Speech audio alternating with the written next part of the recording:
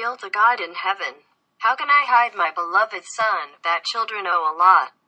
She even bought everything. Oh my God, the plow to DZ breathless. The beloved child races again to play cars. Anything I have to listen to.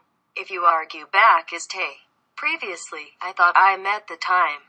God sent me to find my beloved son. Now my body is dead. My life suffers a lot of bitterness. The body of the child is no different than the plow. Debt she long pay unfulfilled. I now like my heart. Dropping 30 kilograms, thin, weak, yet I owe my life. Cooking rice, washing dishes. Being demanded in prison. Where do people meet expenses? To give suffering, so what is spring? Oh my God. I have a hard time. God does not help the body and the body. I am in debt hundreds of thousands. Looking at her clothes, she bought two drops of tears. Hmm. I kneel to God in heaven.